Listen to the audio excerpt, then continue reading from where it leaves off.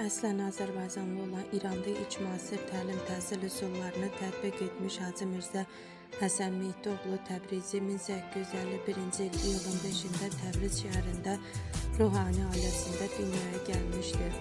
O ilk təhsilini ərəb və fars dillərini mükəmməl bilən, dövrünün görkəmli ziyalılarından olan maarifpərvər atası Molla Mehdidən almışdır. Ruhani olmaq istəsə də daha sonra bu fikirdən daşınmışdı. Gənc müəllim kimi Həsən Rüşidiyyənin ilk pedaqoji fəaliyyəti uğurlu alınmışdı. Onun yaratdığı məktəb qısa müddətdə xeyli nüfuz qazanmışdı. Savadlı yerli məmurlar hazırlamaq istəyən çar hakimiyyəti Rüşidiyyənin fəaliyyətindən məmnun idi. Buna görə də dövlətin onu mükafatlandırması və ona maddi yardım göstərməsi heç də təsadüfi deyildi. İran şahı Nəsrəddin Şah Qacar Çar Rusiyasına səfəri əsnasında İrəvanda olarkən bu təhsil ocağını ziyarət etmişdi. Uğurlu pedaqoji fəaliyyətinə baxmayaraq Mirzə Həsən Rüşidiyyə İrəvanda çox qalmır. 1894-cü ildə Mirzə Həsən Rüşidiyyə özünün ilk Vətən dili adlı əsərini yazmışdı.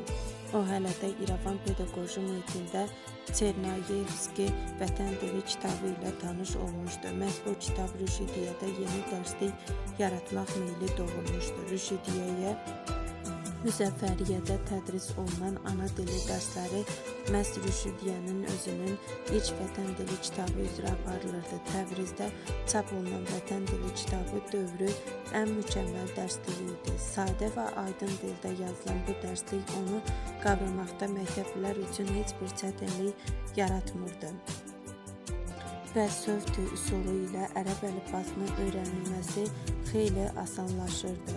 6 ay ərzində yazıb oxumağı öyrədən bu dərslik bütün İran Azərbaycanda yayılmışdı. Cənubi Azərbaycanın görkəmli maarifpərvəri, pedaqoqu, publisisti Rüşidiyyə məktəblərin banisi Həsən Rüşidiyyə 1944-cü il dekabrın 10-da 93 yaşında Qum şəhərində vəfat etmişdir.